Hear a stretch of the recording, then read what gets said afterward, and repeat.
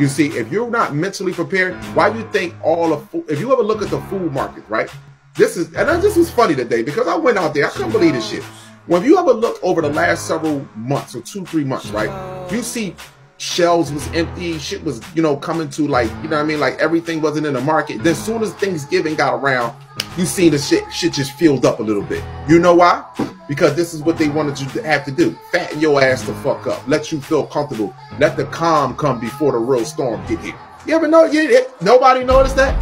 Did anybody notice that over the last over the last several months, a couple of months. You understand? You go into the market, it's food shortage this, it's food shortage that. This here, you ain't got this, you ain't got this, you ain't got that. You go into the market, you was in the market over the last week or two, you be like, God damn.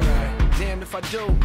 Oh, they filled everything back up, huh? Where, where did all this shit come from? Yeah, back your ass back up. That's exactly what they did. You didn't notice that. But don't worry about it, though. Don't worry about it. The worst thing for a man that's sitting there laying up underneath a woman that you got children by you see what I'm saying to you? Matter of fact, even laying up with a woman, period, and that you got children, that you ain't even ready for what's getting ready to come. And you're going to watch your babies die. That's what you're going to do.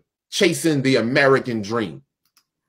What populist scientists have predicted to happen 100 years from now is happening today.